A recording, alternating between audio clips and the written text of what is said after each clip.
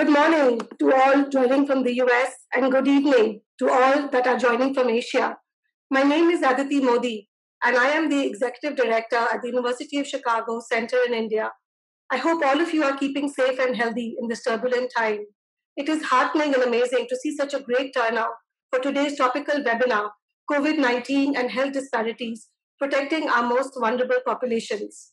Today's webinar will feature medical faculty at the University of Chicago's Bucksbaum Institute for Clinical Excellence and is being held in partnership with the University of Chicago Center in Beijing and the University of Chicago Francis and Rose Yuan campus in Hong Kong.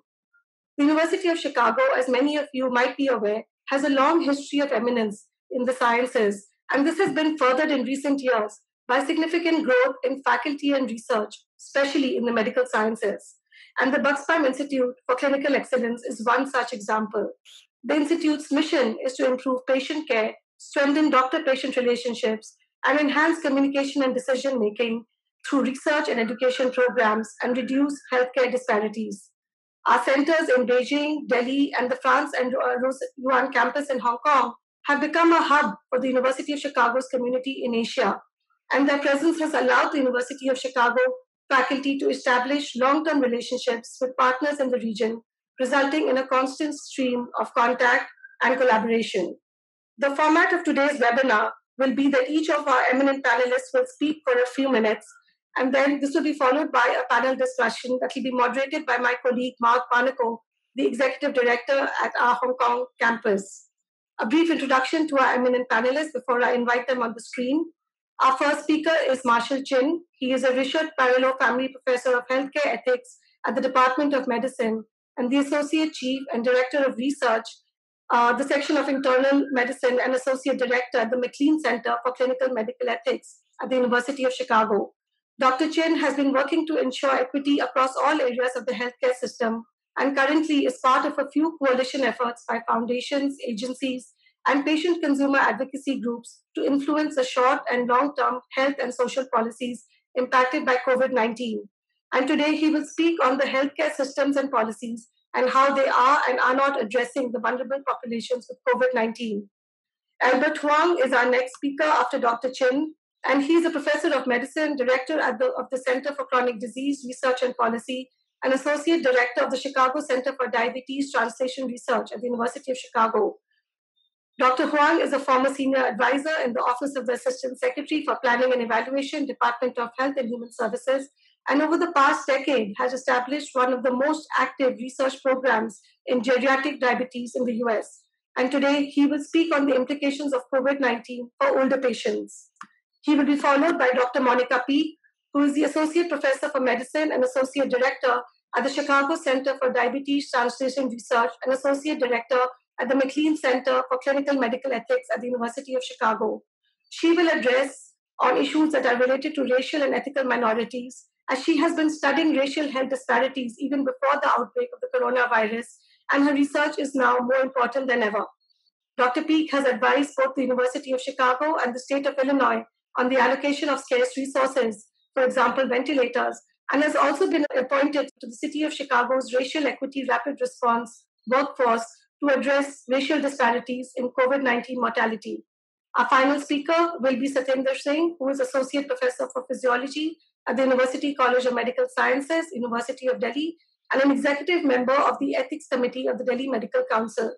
Dr. Singh is a noted disability rights activist, and he recently spearheaded the framing of disability competencies in India for health professions to improve doctor patient relationships. He is also working on supported decision making among marginalized populations, especially people with disabilities. And today, you will hear from him on issues related to disabled patients and COVID 19. Thank you all again for joining us this evening and morning. And with that, I will request our first speaker, Dr. Chin, to provide his opening remarks. Thank you very much, Aditi. I'm going to cover how the US has addressed the COVID 19 situation covering both successes and challenges with lessons and issues that are generalizable to other countries. I'm going to divide my remarks into four stages of the pandemic.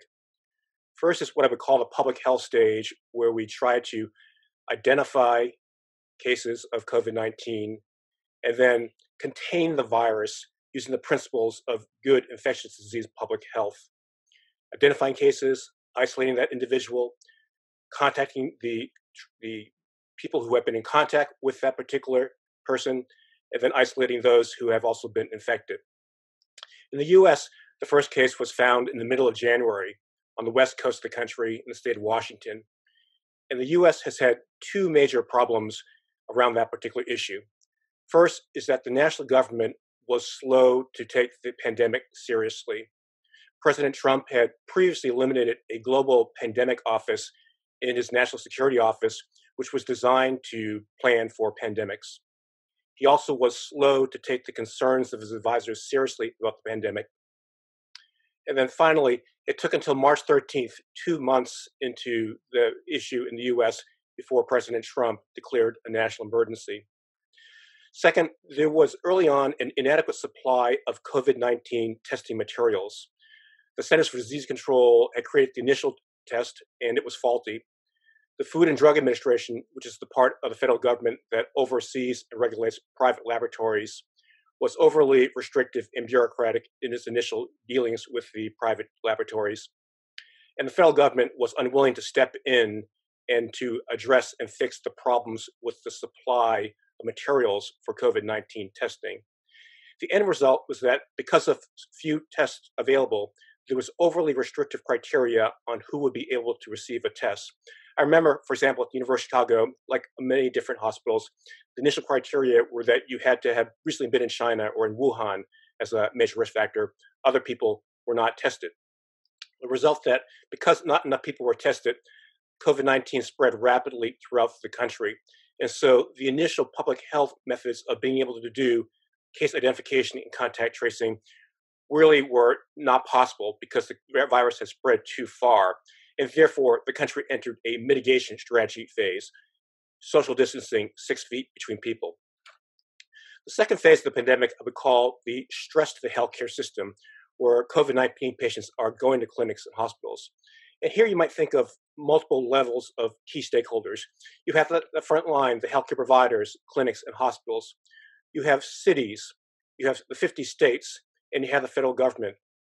The front line has been heroic, that the doctors, nurses, frontline responders have done an outstanding job. At the level of large cities, many of the city large city gov- uh, mayors, such as the state or city of, of New York City, they have also been aggressive with their public health measures doing the social distancing, trying to find adequate supplies like ventilators and protective equipment for, for personnel. The level of 50 states, you've seen great variability among the response among the governors, and also among the federal government, there's been a, a variable response. The third level I would call uh, is the current evolving situation for the pandemic, where one of the key issues has been tensions uh, between science and uh, medicine and then the interests of the economy and businesses and political considerations. From a scientific perspective, the concern is then spread of the virus, and so still uh, a major push for social distancing. On the other hand, the shutting down the economy has caused great harm to people also economically, as well as spillover effects into to health. And there's a great push then from the business and economic community to open up the country we also in a, a, complicated situation where this is an election year in the United States, so there are additional political considerations. And so we then have then the situation then where we are trying to balance then issues of science and then issues of then the politics. the fourth issue I would uh, mention is then the emergency phase, emergency relief phase, where we have in general been funding the status quo as opposed to trying to uh, address some of the more fundamental social drivers of inequities. Much of the direct funding has gone towards uh, immediately to healthcare institutions like hospitals, to businesses, and to the public, as opposed to doing a more fundamental reform of the system, such as expanding health insurance coverage for the different parts of the country. So, overall, I would mention that we have uh, five overall lessons to share. First, that honesty and transparency with the public are incredibly important if we're going to have faith in the system and a unified national response. Second is that it's critical to ensure that there's an adequate public health infrastructure for doing things like identification cases and contact tracing, as well as it's critical to have an adequate safety net for the overall population. Third, there's a role for both central control. So, for example, in the United States, there, there should be a role then for the national government ensuring that there's an adequate supply of COVID 19 tests, or an adequate supply of ventilators, or an adequate supply personal protective equipment for healthcare workers. At the same time, there is a role for decentralization. So, for example, the issue of like when to open up businesses uh, so that uh, the, the, economy can start uh, flourishing again, um, that might need to be done at a local level. So, for example, some rural areas of the country have relatively less cases of COVID 19 than the urban areas. Fourth is that science and evidence matter. That, of course, there are economic considerations, there are political considerations, but you can't fool Mother Nature.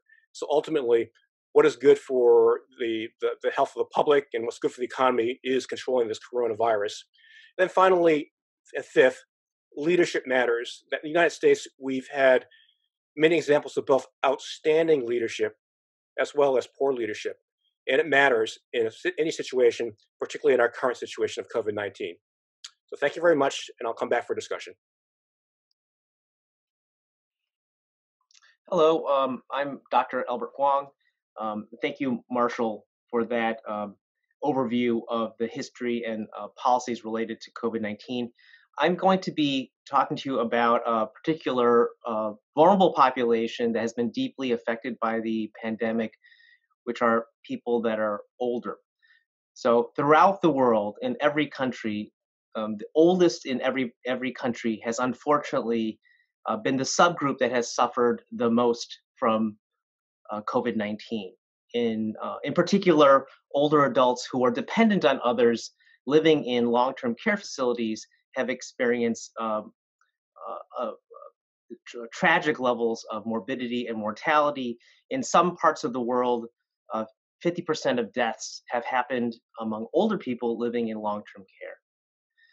So, um, and this is not, you know, limited to um, one country. As Dr. Chin mentioned, the first outbreak in the United States was actually in long term care facilities in in outside of Seattle, but we've had recurring report and ongoing reports of high rates of death um, in long-term care in Spain, the United Kingdom. Um, there are ongoing tragic reports of people finding um, uh, dead bodies in long-term care facilities. And what the pandemic has done is it's revealed some of the deficiencies of the social net, safety net that is related to long-term care throughout the world in different countries even in countries where um, long-term care systems are fairly robust and well-funded. And um, so I'll talk about the problems and challenges, why that death rate has been so high, why this population has been so vulnerable, and talk about some immediate short-term actions that um, that, that countries could take, and then what it means long-term for the social safety net for older people. So, the complex issue around care of older people is that many are not fully independent. And so many rely on a social network of individuals to support help with daily tasks of live, daily living, such as shopping and driving, um, even more basic tasks such as bathing and dressing. And so, in normal times, um, these individuals need the support of this network to remain healthy. But this very network is also what creates the vulnerability to pandemic infection. Um, so if one is dependent on others and um, the support net, anybody in the support network develops an infection, this can lead to rapid spread of infection among people uh, that are cared for. If a key member of the support network becomes sick or must go into quarantine, the older adult will then have to find alternative forms of support for the care that they received. Um, and so this duality of the network, the network is both supportive, but it's also a risk. And that um, eh, illustrates the, the, the, twin risks that are associated with uh, this uh, vulnerable older population.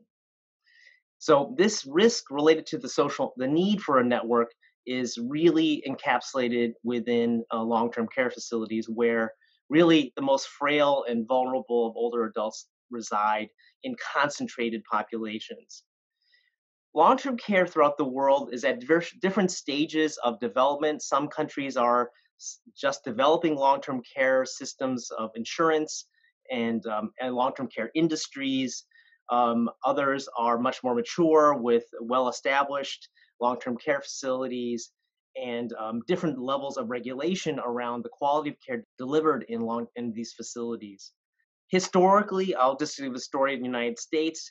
Uh, these facilities have been understaffed, and this situation has worsened um, uh, during the pandemic as sometimes uh, nurses and other staff have been deployed to other clinical settings. Um, and long-term care includes everything from assisted living, where people are relatively independent, to acute rehabilitation, to actually long-term care nursing, which we imagine, uh, uh, which is what is provided for people with uh, conditions like dementia. That the number, the outcome that is typically used to think about uh, staffing uh, uh, support within facilities is the staff to patient ratio. And um, in general, there have been complaints about these ratios being out of balance uh, where there are just not enough staff to care for individual patients. The, the lower this ratio is, the higher risk of a single staff member who's infected to spread the infection to uh, multiple patients. So, what's happened with the COVID 19 pandemic in routine care is that staff, if they are following uh, social distancing policies and, and have to wear protective gear, they are slower to respond to the concerns and needs of, um, uh, of, their, of their patients. So, for example, if a patient has diabetes, uh, the frequency of glucose monitoring um, may go down, and there is an increased risk of missing um, side effects of, of, of, the, of diabetes, such as hypoglycemia. Um, so, in um, uh, I would also add that long-term care facilities that are uh, attempting to enforce uh, social distancing have also had to do things that uh, may have affected the, uh, the long-term mental health of their patients. So many patients have now been forced to go into their individual rooms. Um, they have been barred from seeing their family members.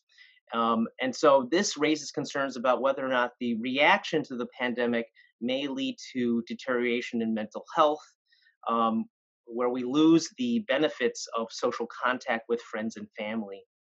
So, um, um, so in addition to concerns about uh, potentially um, uh, under managing chronic conditions that we cared for before, there's a concern about creating new forms of harm through social isolation, which we know is harmful uh, from prior research, uh, much of it done at the University of Chicago. So I will um, just talk about a few things that um, can be done in the short term and what we think needs to be done in the long term.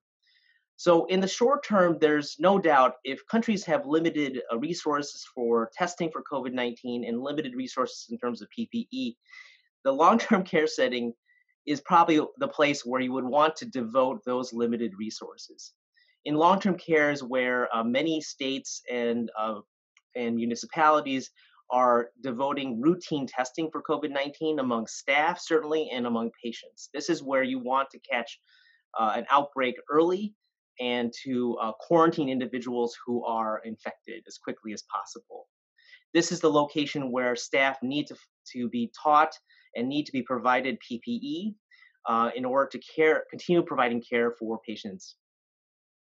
Um, and um, there are also uh, creative ways of potentially reorganizing the, uh, the, uh, uh, the, the space of long-term care facilities where those who are infected are uh, are uh, allocated to a special ward from those who are not, um, just as people are doing within hospitals. So these are some short-term maneuvers that uh, um, likely are, are happening already, but need to be uh, strengthened um, in order to prevent uh, more uh, outbreaks in long-term care facilities. Unfortunately, I think every day we continue to hear about these outbreaks. For the future, um, I mean, I think the I'll just go to this the main point we know that overall long-term care has been systematically underfunded. Um, in the United States, through a complex system of insurance, a lot of uh, a lot of healthcare in a long-term care is actually paid for through our Medicaid system, and our Medicaid system provides low rates of reimbursement for long-term care. this is probably at the root of why staffing is low in these facilities. Um, and so um, it may be that at, because of this pandemic, there's a, a, revisiting of the amount of resources that go to long-term care via Medicaid. Um, and it's clear that going forward, um, uh, there's going to be an increased emphasis on infection control and creating more strengthening regulations around infection control under different administrations. Um, there has been more intense focus on infection control, uh, for example, under Obama administration versus the Trump administration, and those will likely need to change. And there's likely also going to be a movement to see if we can take care of people more um, at home and not in long-term care facilities. Um, are there ways that we can increase um, funding and support for home care, uh, which is the or which is the way we took care of older people for generations before? Uh, we may also be using though tech, telehealth and technology that in ways that we did not in the past. So with that, um, I look forward to, to the discussion um, after the talks. Great. Thank you so much, uh, Dr. Huang and Dr. Chin, for setting the stage of talking not only about uh, our healthcare system, but about um, vulnerable populations. So, I'm going to talk specifically about the case of African American disparities in the United States, um, recognizing that this is a case study for a type of marginalized population that um, represents uh, a population that has been exposed to structural inequities, and that this uh, case study um, can be generalized to other populations within the United States and other populations um, across the globe. So it was about six weeks ago that um, we first heard uh, data around some of the racial disparities in the United States around the coronavirus. Um, and so in Chicago, we um, where we have about a 30% prevalence, uh, 30% composition um, in our city of African Americans, uh, we learned that 72% of the deaths from coronavirus were among African Americans. And we were seeing similar numbers in New Orleans and Milwaukee. And that started um, a national uh, debate um, and a, it triggered other cities, municipalities, and states to begin releasing data. Um, and so we've seen a national trend um, of these disparities between blacks and whites in not only coronavirus cases, but also coronavirus deaths uh, throughout the country. Um, and so, what we have learned um, is that it's not a biological construct. There initially were concerns about um, differences in ARB receptors um, and other things, but uh, a lot of that has been put to rest. What we are finding is that it's the structural inequities um, that African Americans are disproportionately exposed to that appears to be driving um, a lot of the increased COVID um, mortality.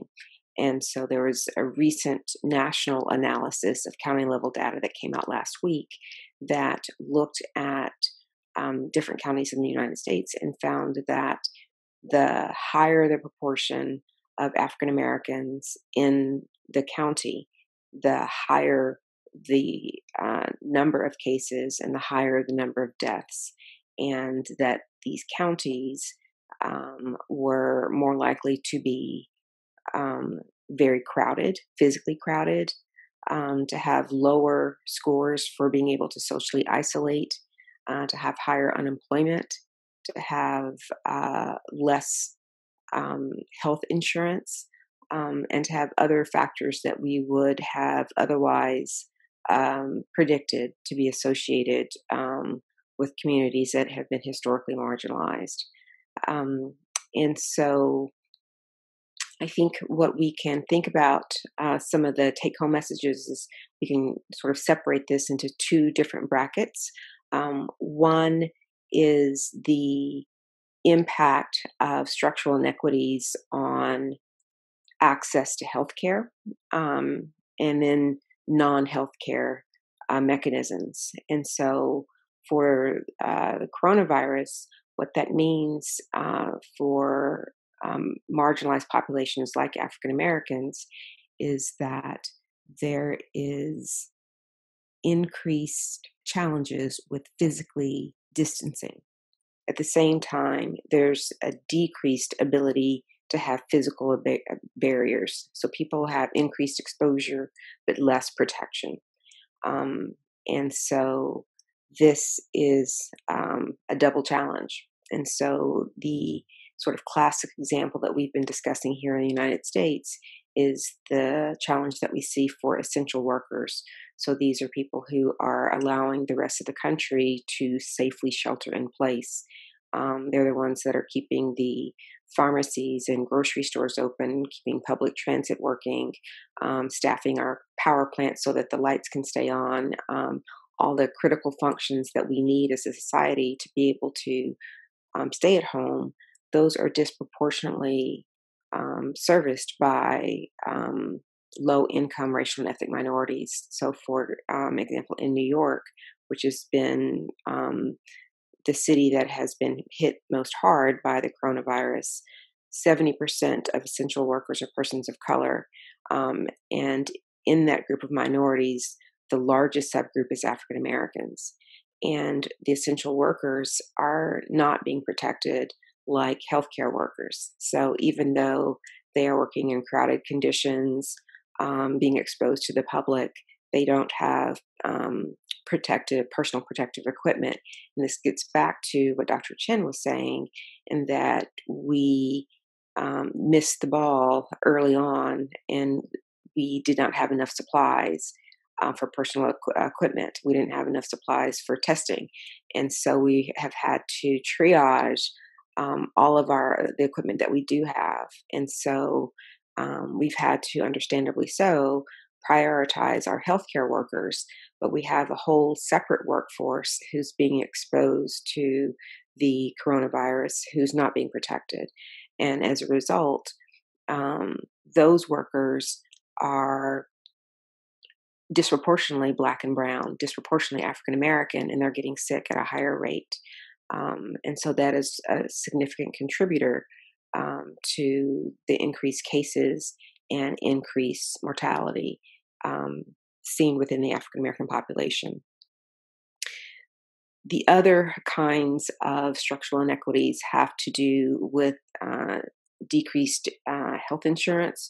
Again, Dr. Chin had mentioned the need for us to sort of reopen the health insurance exchange within the United States with the Affordable Care Act and increase people's access um, to um, be able to have health insurance um, and for um, people to have just access, physical access to hospital systems. Some people are living in communities where there's not a nearby hospital or where their hospital is a community hospital that is not prepared uh, to take on heavy cases um, uh, for severe COVID, where people need to be in the ICU. There may not be enough ventilators to adequately staff the demand that's coming from the community of people who are really sick with the coronavirus.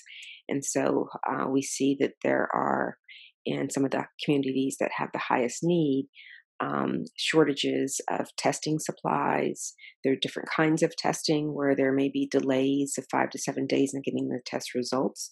Um, in compared to, for example, at the University of Chicago, where we can get our test results within hours. Um, there are differences in the kinds of care that large academic hospitals can provide that can't be provided in community hospitals because that's not what they're designed to do. And so the differential access of um, low income communities to these kinds of care also impacts the mortality um, and the sort of the disease course once people become infected. And so there are a range of um, inputs um, that lead to a culmination of uh, disparities that we see amongst marginalized populations um, uh, who have historically and contemporarily been um, exposed to a range of structural inequities. And so that's what we're seeing um, across the country. Um, the combination of historical injustice um, being played out with the current um, system of injustice sort of layered on top of that. And so, what we're seeing is a number of cities and uh, states standing up and trying to address these issues. Again, Dr. Chin had mentioned in his last uh, comment about the importance of leadership. Um, and that we've seen some excellent, outstanding leadership, and we've seen some leaders that have not stepped up to the plate. Um, and we've been lucky in that in New York, which has been a hot spot, that we've seen some outstanding leadership. And in Chicago, um, which is one of the first cities to note the significant disparities in coronavirus between blacks and whites, we've had outstanding leadership as well. And so, some of the things that we've been doing here in the city have been to try and um, reverse or address many of the things that I was just mentioning. So, to try and not just screen people who make their way into a hospital system with algorithms about comorbidities, but to try and um, begin screening um, in hotspot areas um, so that we're trying to do more public health prevention screening that we would like to have been able to do from the beginning with contact tracing. So we've identified uh, certain community areas where there's a significantly higher prevalence of COVID uh, cases and deaths, and trying to do more universal screening in homeless shelters um, and congregate living, like Dr. Uh, Huang was mentioning, where there's a lot of elderly and cases of mortality, um, and trying to universally screen in those areas. Um, we're using community health workers to be out in the community. Um, our academic centers are sharing equipment, uh, sharing testing supplies, um, PPE, and other things with our lower resourced hospitals. We have um, developed a triage protocol, like a, a lot of uh, cities do for trauma, so that uh, our safety net systems can directly go to some of the larger hospitals, and uh, many of whom are academic hospitals, um, and bring their uh, cases of coronavirus directly to those hospitals um, so that we're better able to meet the, the needs, um, to, to balance the needs of uh, patient type and severity of illness with the capacity um, and skill set, um, the clinical uh, skill set, of the the infrastructure, and the human capital of the hospital itself. And so there are a number of things um, that are happening uh, to try and uh, rebalance the uh, policies, structures, uh, infrastructure that's in place um, to reduce the disparities that we're seeing in Chicago. And so um, the city releases daily statistics around uh, mortality. And so six weeks ago, 72% of the cases for African Americans uh, 72% of the, the cases of COVID mortality were African Americans, and a few days ago it was 49%. And so we've made significant strides in a very short period of time being able to implement um, real world uh, things that we can do today on the ground that don't require federal action. Um, and so, um, so those are just uh, some some examples of recommendations that we're doing here in Chicago. But I underscore the um, underlying root causes of the problems for African Americans and the universality of these issues um, across the globe. Um, and so, uh, so that's all I have to say for now about that. And I will I look forward to further discussion during the panel. Thank you, Dr. Peek. Good morning and good evening, depending on which part of the world you are in. Thanks to University of Chicago Global Centers and Bucksbaum Institute for this opportunity. I am Dr. Satendra Singh and I will be focusing on health disparities among disabled population. So disclosures up front, I'm a doctor with a disability. Around 15% of the world's population live with some form of disability as per the World Health Organization. In that way, we are the world's largest minority. So how is this largest minority faring with the COVID-19 impact? The 1.3 billion living with disabilities globally, which is equivalent to current Indian population, they are no stranger to the kind of exclusion or lockdown imposed by the coronavirus on the rest of the population. Many of us living with a disability will not be able to go back to quote unquote business as usual uh, once the pandemic is over, because 80% of disabled worldwide live in developing countries, and 60 to 75% of these live in rural areas where they face multiple barriers. As of today, India has around 50,000 active cases and around 2,400 deaths, but we don't have any data on the number of disabled people affected or died because of COVID 19. Most of the time, when reporters talk about COVID 19 preparedness, inadvertently the focus is on how the elderly and the disabled are more vulnerable. Despite our best attempts, it sends an unreasonable message that a few people's prosperity is more significant, and it in a way devalues the lives of elderly and the disabled. However, we all know that viruses don't discriminate based on ageism or ableism, and everybody, whether a person with disability or not, can acquire this infection.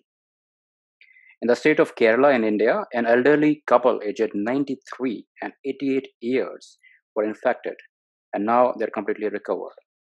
A 106 year old gentleman recovered from COVID in the super specialty hospital, which is next to my workplace in Delhi. It is this inherent bias in the conventional health setup which exacerbates health inequity and uses quote unquote quality of life and social worth as indicators in triage protocols in the pandemic.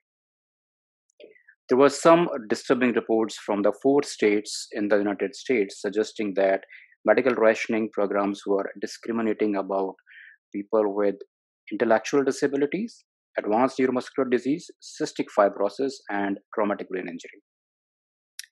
This was termed as ICU eugenics by disability activists in the US who got united under the hashtag nobody is disposable. Accordingly, Office for Civil Rights of the United States Department of Health had to give a release on 28th March citing very clearly that Americans with Disabilities Act prohibits discrimination on the basis of disability. We must not forget that anti discriminatory disability legislation applies to all medical healthcare decisions, even in crisis standards of care. Even in, in India, Section 3.3 of the Rights of Persons with Disabilities Act warns against discrimination based on disability. It is true that those having thoracic disability or those who are elderly, they have decreased lung compliance, decreased vital capacity, but we do not have any studies which have proven a direct association between these and poor prognosis when mechanical ventilation is required. For example, in ICUs or in ventilator patients. The triage policies should be based on individualized assessment based on equity and justice. So the reason why disabled people are becomes more vulnerable is because of attitudinal, environmental, and institutional barriers that are reproduced in COVID-19 response. For example, many blind people, deaf and blind people who rely on touch. For them, physical distancing is inherently harder to practice. And the same is true for those who are dependent on caregivers. Moreover, the word social distancing has a different connotation in a geographically diverse country as wide as India, which has had its share of grappling with untouchability amidst socially outcast Dalit and tribal communities, segregation forcing people affected by leprosy to live in leprosariums, and people with intellectual and psychosocial disabilities who were locked in institutions. I personally prefer physical distancing over social distancing to mitigate the attitudinal barrier and to respect cultural preferences we need to be socially connected but physically distant. We need to ensure that health advisories are accessible through sign language interpretation, captioning, and easy to read format. We need to en- engage in equitable practices to leave no one behind and provide health for all, including rural areas. India spends only 1.29% of GDP on health, India is a low middle, medium, uh, medium income country where 69% of disabled live in rural areas. around 2 million families have more than a person with a disability in the household, as per the Government of India data. Disabled people are less likely to be employed, and when employed, they are likely to be in informal sector. Lockdown has further ensured the loss of work and income. Stigma has perpetuated hunger, starvation, and deaths. Social protection measures for disabled are inadequately enforced at 0.03% of GDP. The value of the emergency cash transfer, which was initiated by the government of India, it works out to be less than 5 US dollar per month, which is grossly inadequate. Even this amount covers only 8% of working age adults with disabilities, and this does not include children with disabilities. It should be as per the International Labour Organization's recommendations of $2 per day or $66 per month, which comes out to be 5,000 Indian rupees per month. Pandemics are a period of greater uncertainties that require equally swift action to embed ethics in all decision making processes. The principle of solidarity justifies efforts to overcome health inequities by protecting the rights of the most marginalized. The emerging field of disability ethics can help policymakers in employing anti discriminatory approaches to value disabled lives in triage decisions. So that's all I have to say at the moment.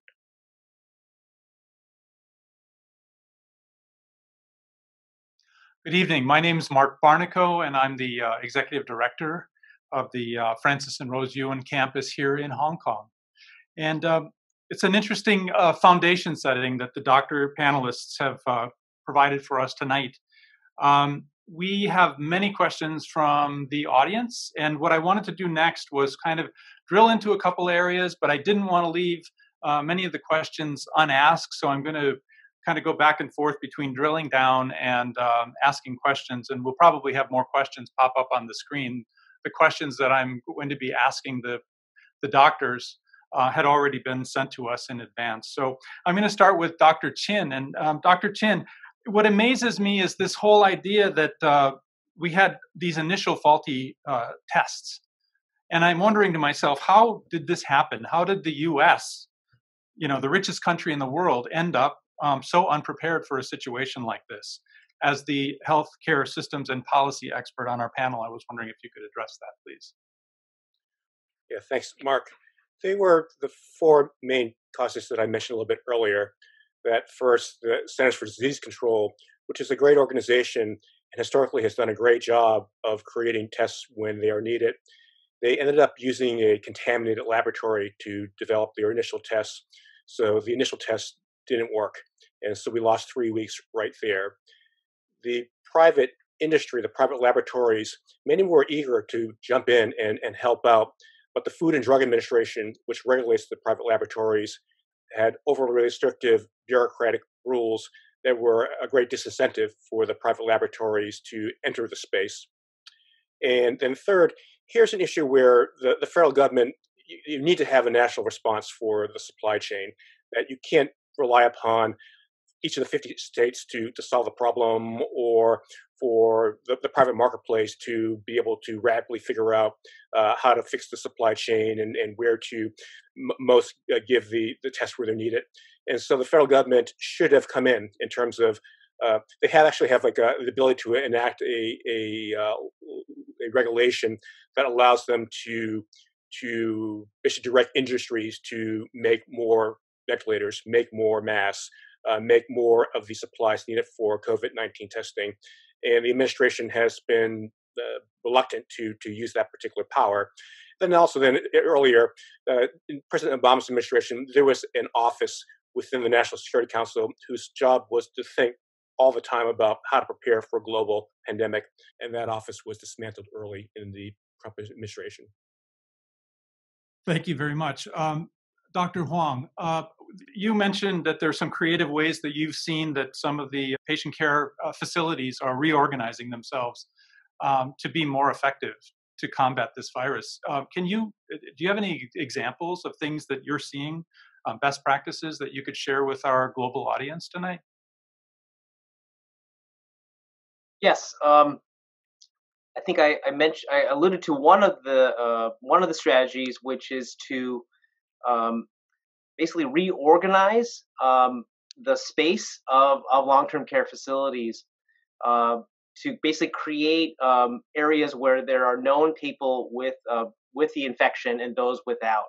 This allows for um, you know um, basically staff that are going in to take care of, people who are um, uh, who are infected with COVID 19 to be better prepared, to be dedicated to those patients, and to separate that staff from staff taking care of non infected patients. So that creates this sort of physical, spatial separation uh, of infected people.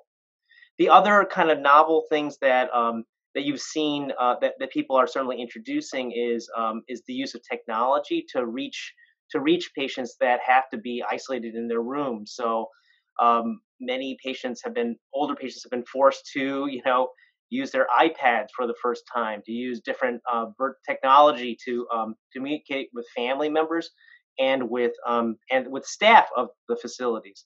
And I'll give I'll end with actually an, another a novel um, approach to uh, to caring for people in, in these facilities is to actually start to rely on some of the individual patients to take to do to monitor to monitor themselves. So and this is actually carries over into the community as well. So for example, um, in the case of uh, blood pressure control, having patients measure their own blood pressure. For diabetes management, actually using technologies like glucometers or continuous glucose monitors to actually have the subject themselves or the patient themselves collect the data, thus reducing the number of times the staff interacts with them and reducing the use of PPE. So those are sort of novel things that are being deployed right now. Thank you, Dr. Huang. Uh, Dr. Peek, uh, one of the questions from the uh, audience is um, a question about the ongoing effects of the sufferers of loved ones um, who died during this period of time.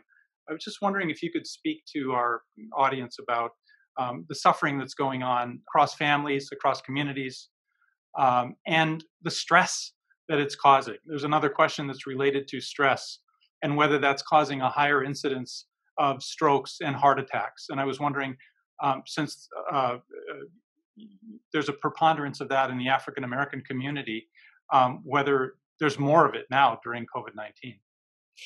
You know, that's a really interesting question. Um, oh yeah, so there's a lot. There's a lot of embedded questions in there. Um, I'll take the first part just about the impact on loved ones. I think that it's um, the the the loss of loved ones is always challenging. I think the coronavirus has compounded that in the fact that the restrictive visiting policies during the hospitalization um, makes that much more challenging. So families are really, for the most part, allowed to visit right near the end of life, um, and the funeral policies are more restrictive and so like 10 people can go in at a time and some people just are foregoing funerals altogether and um, waiting for a memorial service later. And i think all of the social cultural rituals that we as a society put in place to help us deal with the grieving process around death have been altered during the pandemic. And i think that that uh, weighs on our collective ability to maintain our mental health during these extra burdens. And um, uh, I think all of our panelists have alluded to different ways in which the coronavirus is impacting seniors' mental health or our, our uh, mental health just in our day to day functioning. And certainly um, with the death of a loved one, um, it can it's certainly impacting the family's mental health in ways that it ordinarily wouldn't be. Um, there is uh, we have seen an increase um, in cardiovascular outcomes um, recently and we're not exactly sure for all of the reasons that that is. Um, one of the hypotheses is that with the shift um, in ambulatory like there's you know the ambulatory setting has has primarily for the most part been shut down so we're not doing as much in-person care And there's a study that came out of uh, UCSF that was saying that racial and ethnic minorities, only 36% of them are utilizing telehealth. And so for those, um, you know, racial and ethnic minorities who are more likely to have cardiovascular disease, hypertension, diabetes, um, they're less likely to be using telehealth. And so those chronic diseases may not be monitored as well and maybe putting people at increased risk for strokes and heart attacks. Mm. The other thing is that we're not seeing them as much in the hospital setting. So people may be having symptoms and staying at home for fear of not wanting to go into the hospital. Um, I'd rather stay at home with chest pain than go in the hospital and die of coronavirus. And so we're, I think we may be, there may be multiple causes why we're seeing an uptick we do know, and then last, we do know that chronic stress um, is associated with um, cardiac inflammation um, and other kinds of markers that put people, um, like African Americans, at increased risk for cardiovascular disease. Um, I think the time period for the coronavirus has been too short. It's only been a couple of months, um, but certainly um, that, that, that can be additive. Uh, we ha- we did we do know, for example, um, that only a 10 point increase in blood pressure can increase your risk for cardiovascular outcomes by 50%. And when we looked at the associations, for example, of community violence um, and health, we saw a 10 point increase in blood pressure.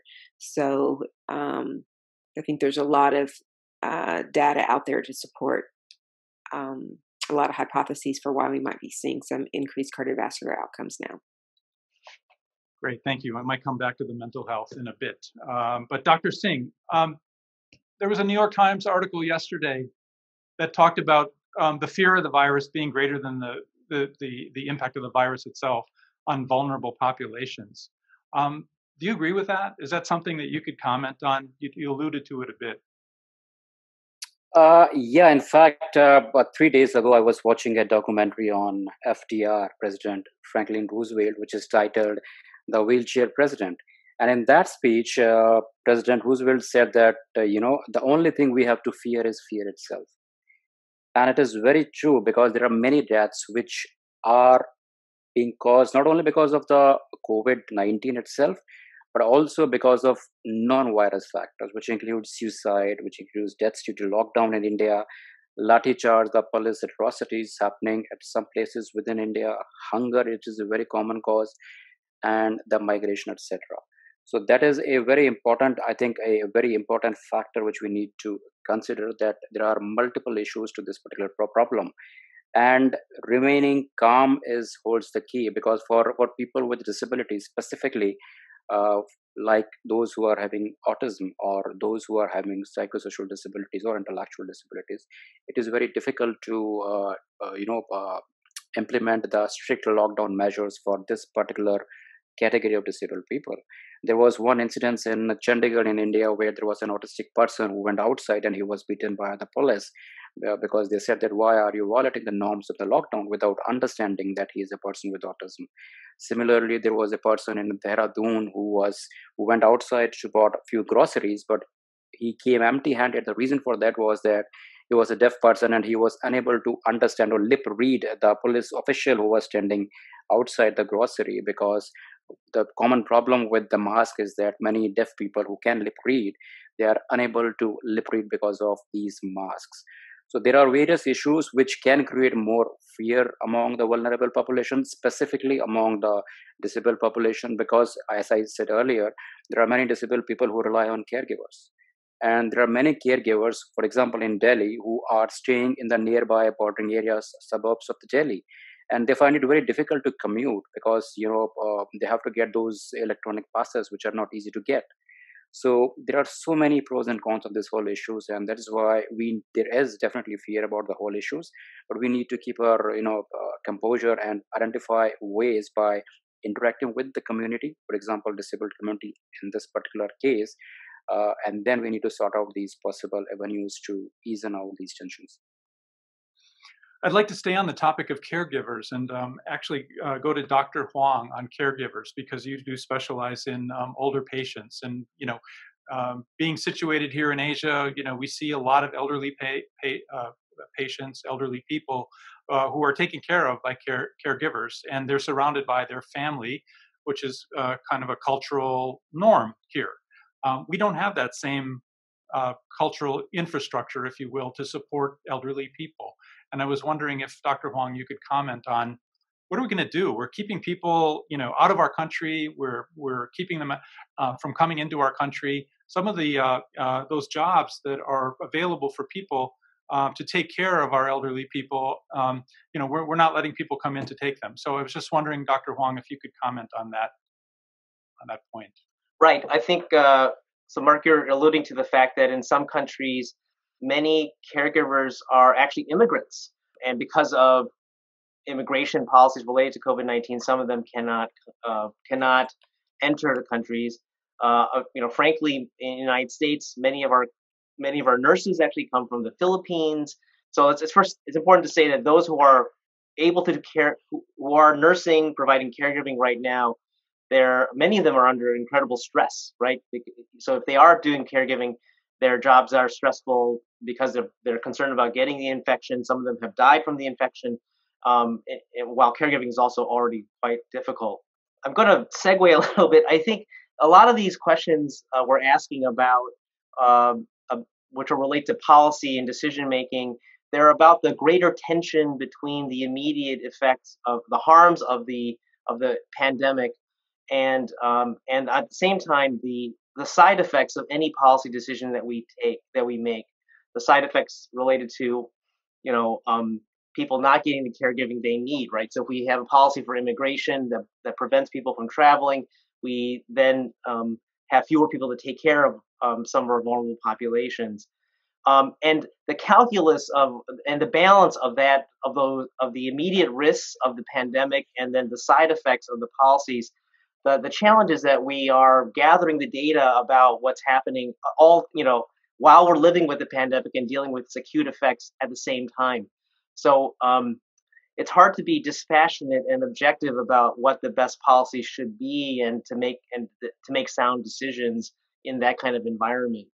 Um, we are probably going to learn a lot from variation across countries and across states and how people responded to uh, how how we deal with caregivers and how we deal with the most vulnerable populations. I think a really fascinating, really social experiment has really been the one in Sweden, where um, they actually did um, purposefully um, uh, physical dis- physically distance the oldest patients, oldest people in their population, while allowing um, uh, people to interact among um, those who were not older and more vulnerable. Um, in in what's what's sort of disheartening though is that the long-term care experience is basically consistent across every country. Um, so that means that that particular population, the oldest, the sickest, those with dementia, there is something about those settings that, um, and, and, that has occurred in Sweden as well. So, um, so I don't, I don't, I don't know if I've answered your question, Mark, but it's a, it's a, it's, it's uh, difficult. We somehow need to provide care. We need to care for people, somehow maintain physical distancing, as uh, Dr. Singh said, um, and we have to do it in creative ways. That is the that I think that you know I I think we can probably go back and relitigate uh, what happened in the early early period of the pandemic, but we have to probably come up with uh, new solutions for how to take care of people going forward. And um, I, I I think it's going to be some mixture of technology, safe, you know, protective equipment, um, and um, and, and that's the best I can do right now.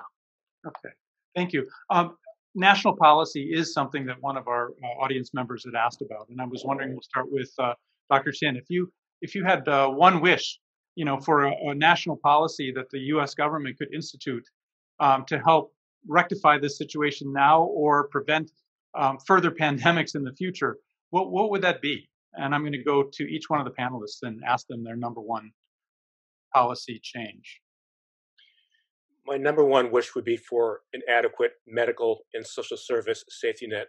So no matter who you are, if the worst happens like COVID-19, there is that that financial and social safety net so you don't decline as, as many people have done Great. Dr. Huang? I mean, I may be boring, but that's on my wish. That's the, what Dr. Chin described is on my wish list as well. Um, a safety net for health insurance that is, frankly, separated from your employment. So what we've seen now is that people in the United States, the majority, over 50%, have health insurance through their work. Job issue is a separate uh, separate discussion, but uh, to lose health insurance in the middle of the pandemic because you've lost your job because of the pandemic um, has been a, a, double whammy. I think, as Dr. Chin has said in, in prior news reports, and um, and uh, and unfortunately, the safety net system that we uh, rely on, many of them are federally qualified health centers or rural hospitals. These have been um, under threat uh, basically for at least a decade or so. Rural hospitals are closing. Um, so the safety net is very frayed in the United States. So um, strengthening it, sort of dis- disconnecting health insurance from employment, these are these are on the wish list. Great, thank you, Dr. Peek. Um, insurance, or do you have any other uh, policies that you'd like to see enacted? Um, definitely insurance, but since that's already on the table, I would say reinstating the Office for Global Pandemic Planning.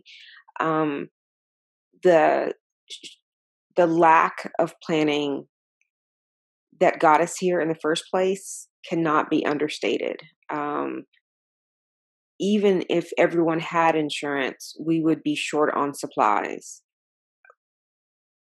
And everything has the way that we have had to the way that we've been able to respond to the pandemic in this country compared to other countries has been limited by those those factors and so we have not been as successful as like you're saying how did this happen in the united states?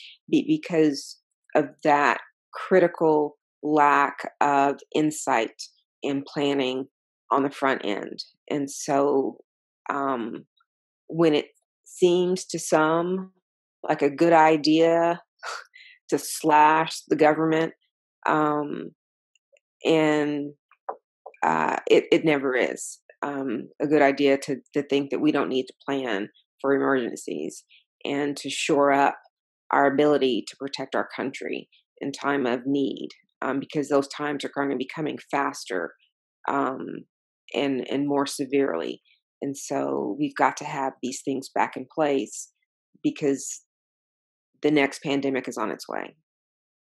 Thank you. Dr. Singh, um, can we do that globally? Can we get our global act together? Is everybody retrenched and gone back into their own nationalist ways? How, how do you view things from, from, from your vantage point in India? Yeah, I think from a perspective from the global south, uh, I personally believe that true universal health coverage will be achieved only when people in the rural areas of the world have equitable access. And that is why my primary wish list with the government of India would be that we need to spend more uh, on on the health and the more GDP on the health and specifically strengthening the primary healthcare system in the rural areas because in India villages contribute a much larger population than the urban population.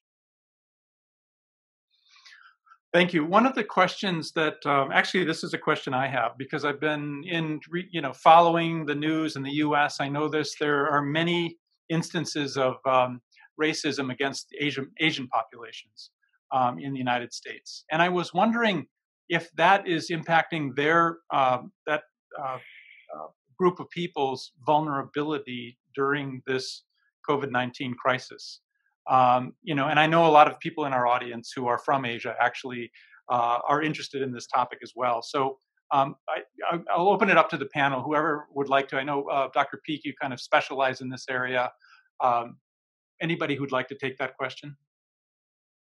I'll start off, and please, everyone, sort of j- join in here. Mm-hmm. That uh, in the U.S., as in probably every other country, there is uh, an unfortunate history of, of scapegoating and sometimes blaming the other when there's a problem.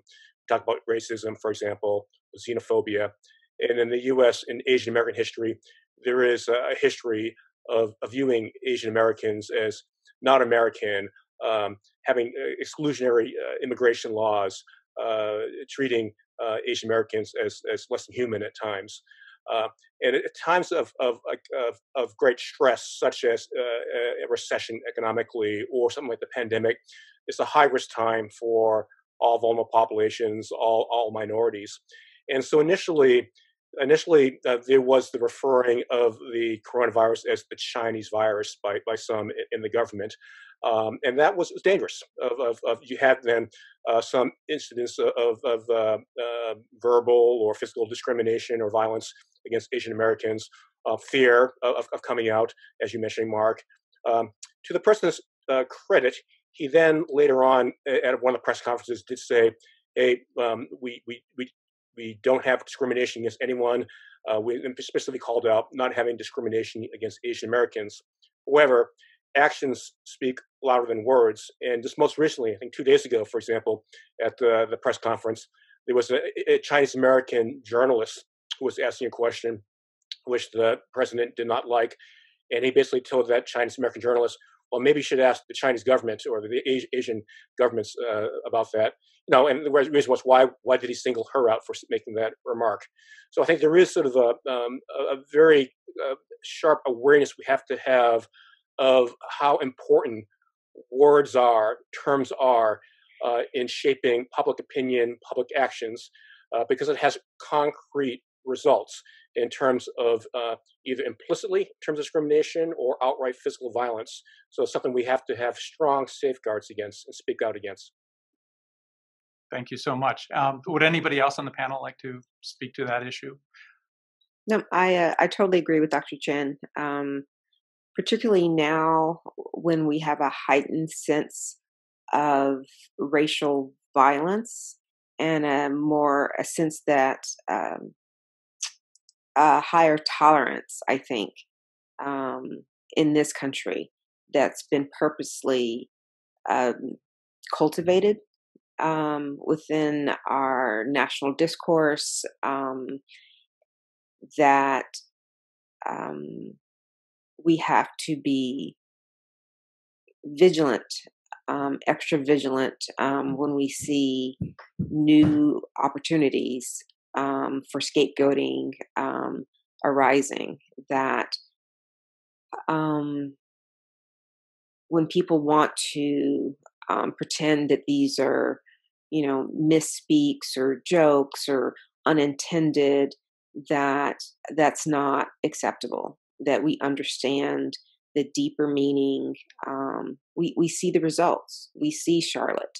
We we see the violence that happens when people feel empowered um, to um, to take what they see on TV coming from our president or others um, into to as a mandate for action. Um, and so I feel like we should have a, an extremely low tolerance um, for hate speech that turns directly into hate crimes. There's a this really terrible confluence that's going on with the virus and the in the U.S. and around the world, really. Um, the the virus and the economies, um, basically the bottoms falling out of all these economies, and the fact that you know most of the vulnerable populations are these low income essential workers. I know uh, Dr. Peek, you did talk about this, but is there anything we can do to protect these people? Because these people are on the front lines saving us, mm-hmm. all the rest of us at the end of the day. Um, yes, I would respond to that in two ways. Um, one, I think there's the physical protection as far as making sure that they are as safely protected as our healthcare workers. Um, and you're starting to see now when you go into grocery stores or pharmacies, the plexiglass, the this is six feet, I'm wearing a mask. Um, so some additional, you know, things like that that are in place, um, even though they may not be the kind of PPE that I'm wearing when I go to the hospital, um, but at least some recognition that the workers need to be more protected. Um, and then there's uh, the economic protection um, and what we uh, I see a chat message um, from someone whose dad is a lawyer working with employees, and um, what we've heard on the news um, is that you know, a lot of the money that's been channeling uh, to sort of help boost the economy is not going, as, as you might imagine, to the right places.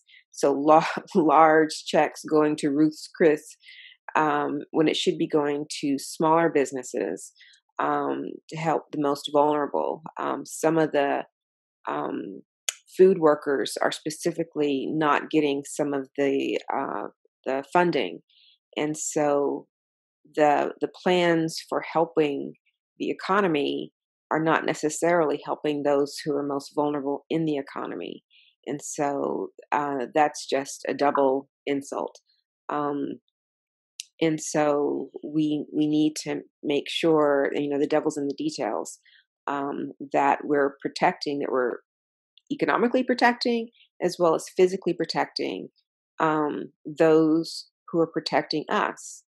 It's in our self-interest to protect the essential workers there's a reason that we're calling them essential um, and you know if we cannot recognize that essential role for them, we need to at least recognize that essential role for us.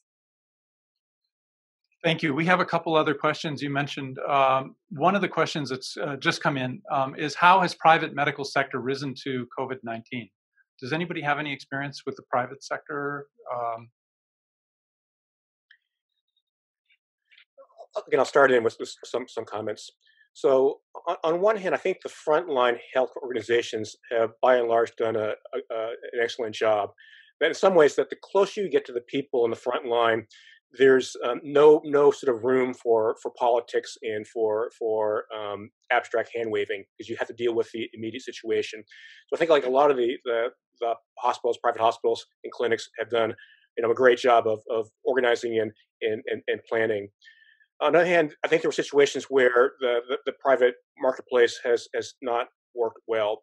So one example would be like the supply chain, where there's got to be an adequate incentive for uh, private industry to invest in, for example, retooling a factory to make mass uh, with a guarantee of adequate supply to justify the investment in the upfront investment in in, in um, for example, creating that type of, of um, um, uh, manufacturing capacity. This is where, for example, then the government, the role of government would be to then um, overcome these areas of market failures where, um, because of the lack of incentives, uh, something's got to be done then to ensure that there's a supply chain uh, adequately. So that's one example where, again, this is a balance, I think, in the U.S. between um, a, a, general belief in the power of the, the, the free market and, and, industry. There's a lot of uh, great strength there, but at the same time, there are uh, specific situations, there are externalities where markets don't work well, where the government has to come in. Otherwise, you have then great inequities and the vulnerable suffering. Great, thank you. Um, we have a bunch of questions coming in, and I've been asked to to kind of address a couple questions that we had uh, uh, before the uh, webinar started. One of the questions is around um, suicide rates and whether we're seeing, you know, a greater preponderance of suicide rates in the vulnerable population itself. Um, is there any particular segment of vulnerable people that are um, are experiencing that more or more susceptible to it? I think the answer is um, actually we. I think we don't know um, yet.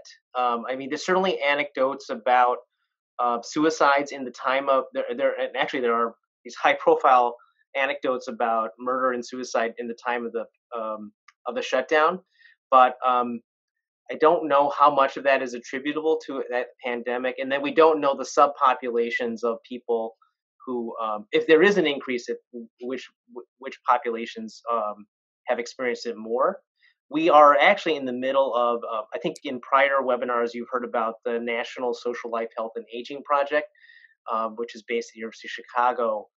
And so it, we are in the middle of designing data collection to um, around death and morbidity and the COVID-19 experience across, uh, for this national sample. And so we'll know more about the health effects of um, of the pandemic and its side effects, uh, the side effects of policies from those sort of studies. Um, but um, I, I, I don't know right now if we can say um, answer your question directly. Okay, great. Um, can I add to that, Mark? Yes, please. Dr. Yes, we have some sort of a data in India. There was a public interest technologist in Bangalore by the name of Thejesh GN. So he has curated data coming out from the media reports published in India. And based on that, he has published an open access uh, data directory where they have reported uh, the non virus deaths from 30th January to till now. So from 30th January to 25th March, when the lockdown started in India, there were 11 non virus deaths. And from the beginning of the lockdown, that is uh, 25th March, to as of today, the total number of death, non virus death, have been 418. And in that data set, you can actually uh, categorize that based on the type of deaths, I mean, the section of the uh, society. And there has been 168 suicides among the 418 deaths. So that says it all. I think we are on the verge of a mental pandemic as well.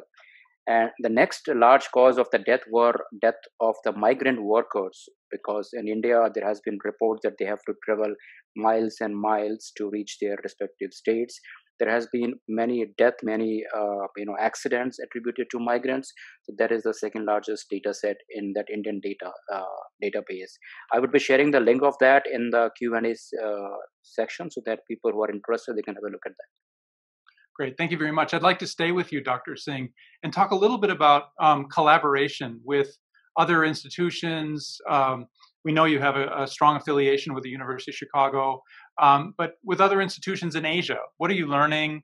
What are you experiencing? How are you sharing? Can you give us a little bit of your experience from that? Well, yes. Uh, one of my reason to visit University of Chicago was that to gain knowledge in the clinical medical ethics and University of Chicago is the pioneer in case of clinical when its clinical medical ethics is concerned. And I was the first Indian to do that fellowship. In addition, there are a few my few of my colleagues from the China who are there. Because what we believe is that you know the ethics committees are are very robust in United States. On the contrary, what we need in Asia, specifically in India and China, is that more of these ethics committees to become a part of normal routine consultations, which are not there we usually discuss these issues once there has been a death. What we need right now is that, for example, in a situation like this, the current pandemic, when there are there is so much of the of of, of you know uh, moral injury on the physicians, what to do, what is the right decision regarding use of ventilators, whom to give, whom not to give, what is the ideal scenario. So these are the situations where these ethics committees can help. So I learned a lot from the clinical medical ethics, and the second was my association with the Bucksbaum Institute, uh, with a grant from the Bucksbaum Institute, I was able to frame disability competencies for health professions educations. I shared so many examples where uh, inadvertently, you know, uh, doctors don't even know, but there are few subtle biases in their decision makings, which comes up not because they are not educated about that. The main issue is that many of them had no interaction with various types of disabilities or the people having those disabilities. And that is why, with the help of Bucksbaum Institute, we framed disability competencies in which we we covered a very historically neglected sector, which is the voices of the doctors with disabilities. And I think that is important in bridging the health disparities because you need to have the voices from the various vulnerable populations people from the elderly, people of color, people who are uh, from the poverty background, doctors with disabilities, people from the LGBTQIA plus community. When you hear those voices, when these will come up in, in, in your medical decision making as your colleagues, then I think I believe you will start to see changes happening at the ground level. Hmm. Thank you so much. Um, you know, as a university, uh, and this is one of the questions that did come from the audience, um, I'd like to ask uh, two related questions. One is, as the University of Chicago, have we done enough during the pandemic period? Um, could we do more? What what could we do? And then the second part of that question is, what do we see the role of the university during a period like the one we're experiencing now? I'll start with uh, Dr. Chin. It's a great question. I think there are multiple roles for a university, and I think on, on whole, I have been impressed overall with what the university has done. Uh, one is like thought leadership, and so I think it's wonderful you've been sponsoring this particular webinar, and thank you for the opportunity. And I know you've had other opportunities for other webinars, and so on these different issues ranging from medical care, basic science discovery, these policy issues, cure the, the vulnerable. Uh, these are important to discuss these different issues. A second would be uh, the direct medical care, And uh, again, I think within the, the, limitations of the U.S. healthcare system, uh, the University of Chicago, I think, has done a, an outstanding job of taking care then of its patients and organizing its care. I think the caveat there is that that uh, ultimately, for us to do the best job caring for the safety net, the underlying health policy system needs to change so that we have a financial case to basically sustain the types of care and investments that allow uh, the best care for, for all particular populations.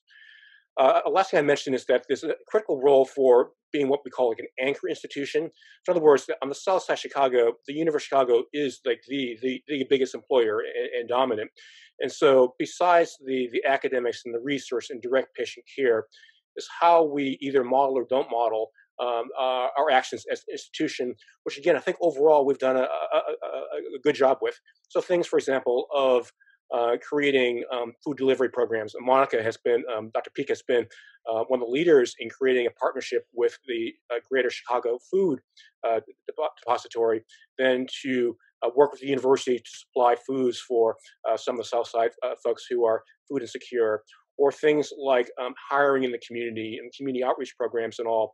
These are all important, specific, concrete ways, or you know, the, the, rules and regulations we have for our employees in terms of trying to preserve jobs and not furloughing and all. Which again, I think overall so far the university has done uh, uh, an excellent job with. Thank you so much, Dr. Huang. Would you like to comment on that? Yeah, I, I mean, I think um, Dr. Chin summarized the kind of the top line um, categories in which the university can play a big role, and I, I agree with him that been quite impressed with the uh, university's response. Um, I would just amplify that. I think what's exciting is, um, uh, you know, really the solution to the problem partially is going to be in science and in medicine and, and making discoveries around testing or treatment. And um, in both of those cases, we have scientists that are on the front lines of, for example, developing antibody tests. And we have, uh, we were enrolled in some of the earliest trials of some of the treatments for COVID-19. And so that's, that's the, I think the proper role for, uh, for the University of Chicago as well. Um, kind of another thing that's happening is that we're, I think if we can shape policy and make policy more uh, in, empiric um, and evidence-based, uh, you know, to either opening the country or keeping things uh, shut down, those are critical decisions. Um, and so our economists and our policymakers and our have all actually gathered together, actually with epidemiologists as well. Uh, there's some really novel studies around cell phone data about what businesses have highest levels of contact with the, you know, where, where people have a lot of contact with each other, um, led by our um, dean of, of public the public policy school. Those are really uh, those are kind of um, objective data that could be used to help decide what parts of the economy can open and what what cannot. So um, um, the university is definitely. Uh, it's, oh, the other thing that's been impressive is how much everything's been shifted to thinking about COVID nineteen because it's such a historic and devastating event, and so we're doing everything we can to try to to um, to reverse reverse this or mitigate this. Great, um, Dr. Peek. Yes, um, I would say because of the location of the University of Chicago, we're on the south side um, where we are surrounded by communities that are greater than 95% African American, low income, working class communities that we as an anchor institution have a moral um, obligation to serve our community. And so we have been um, doing so clinically, but we also have um, an obligation to help in to rise to the challenge of helping to support, as Marshall was saying, as an anchor institution um, in times of great economic crisis to help support our neighbors.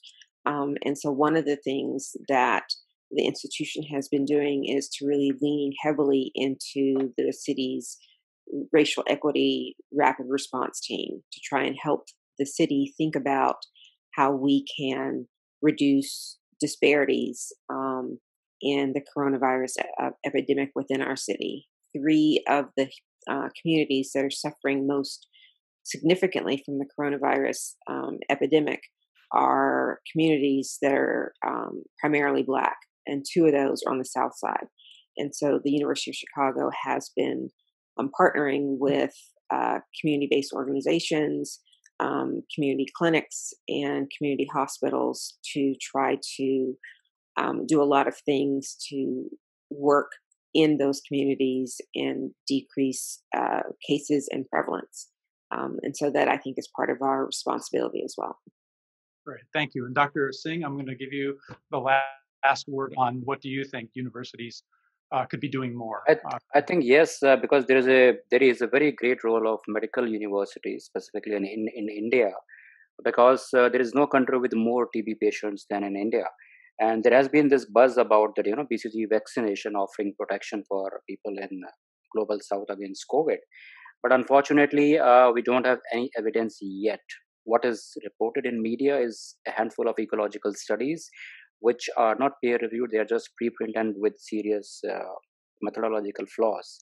So already i believe australia netherlands and i think also us they have already started conducting trials to test this hypothesis and i think there lies a greater opportunity in medical universities within india because we need to do more of these randomized controlled trials within india.